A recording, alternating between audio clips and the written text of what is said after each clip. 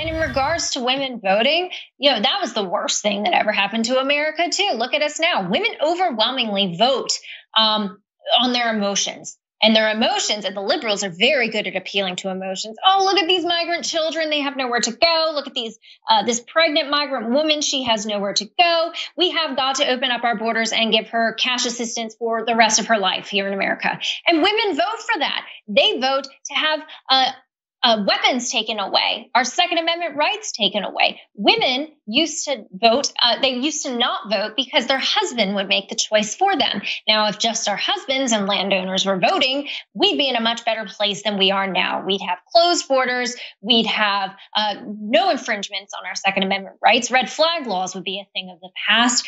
And uh, we as women wouldn't be, you know, have such authority and power over who gets into elected office because we don't deserve it. The way that women vote, it's been terrible. I'm apologizing as a female voter for the rest of my fellow female voters because they are voting our country away. And it is extremely dangerous.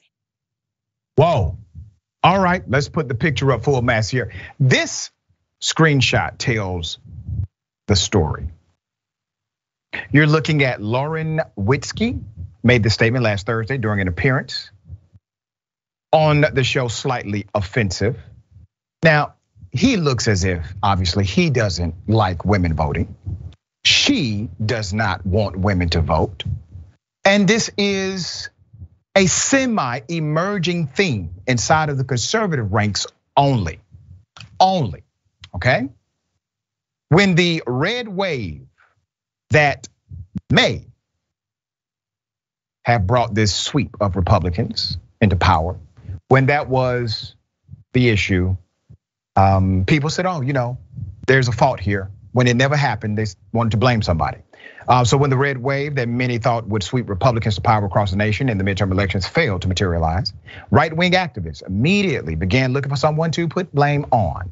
One target of right-wing outrage has been young women who voted overwhelmingly for Democrats in the recent elections. Well, let me tell you what really happened here. Um, while you want to take the right away from women to vote, realize why you all did so poorly. Because really, you probably would have done better if it had not been for some legislative battles Republicans decided to take, contrary to the advice of other Republicans.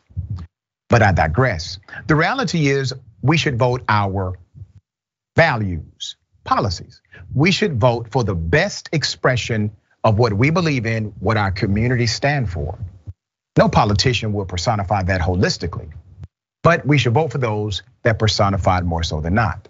So just because somebody makes a decision that's contrary to what you represent, contrary to your values, does not mean you should violate their rights. I thought you all liked the Constitution. Remember, it is the US Constitution that grants us all, women and black people, the right to vote. It protects that right codified in the Constitution. So when you say things like this, madam, I expect you do not like the Constitution, which means you're likely lawless at your core, willing to violate the tenets of basic statutory rules. There's more.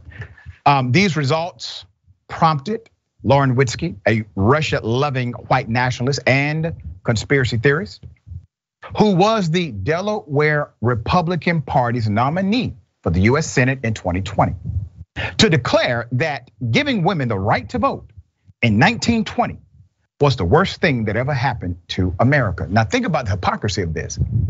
She becomes the nominee largely because of women.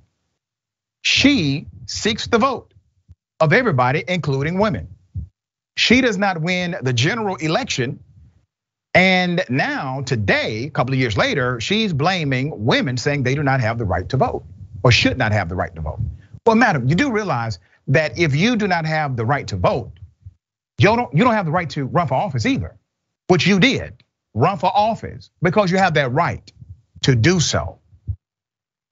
Uh, fun fact she's one of the few women in the white nationalist America First movement, whose leading activists are known for misogyny in addition to their white nationalist and Christian nationalist views.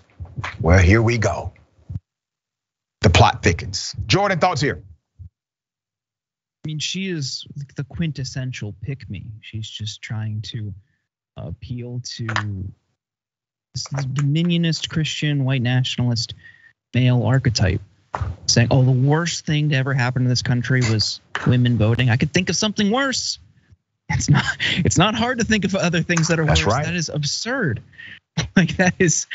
I, I just don't understand why people, and especially conservative women, agree with this misogynistic worldview that women shouldn't have a voice, shouldn't be able to participate in society or in politics, especially after how hard the suffragettes uh, fought for their voting rights. Like that's they were like tortured. I, I just I don't get it. But like you say, they're looking for a scapegoat, and they can't just admit to themselves that hey, maybe screeching at people for two years about trans people litter boxes in the bathroom that don't actually exist and critical race theory in elementary schools. Maybe that's not a viable electoral strategy. No, they can't admit that. They want to keep doing that because for them, politics is about who they hate and who they can inflict the most pain upon.